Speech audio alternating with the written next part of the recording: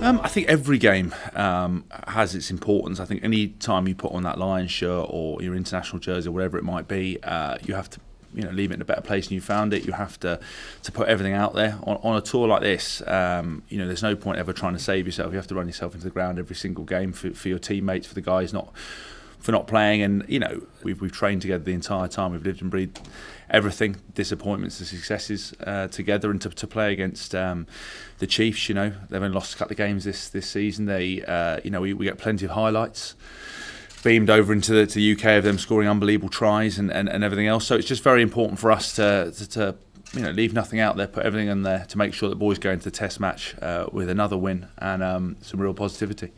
Every time a team plays together, you know you get better and better. Um, you know, you don't add more layers of complication. You just deliver what you're supposed to deliver with uh, more determination and more clarity. You know, I think against the, uh, the Maldives, you know, we, we we took it on another level. And again, on Tuesday night and then again on Saturday. That's the way it goes. There's obviously some, some different styles emerging on this on this tour. I think um, the Chiefs more than anyone, um, they have got a good set piece. Um, but you know, no doubt they'll come with a plan to to derail what we're going to do. And you know, again.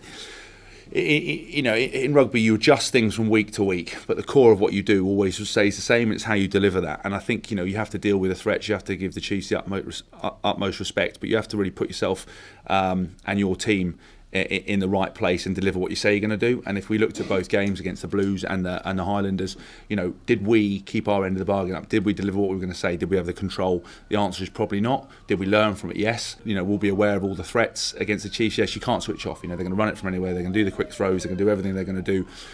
We just play our game with intensity, energy, which is a given, and um, you know, the result will go away.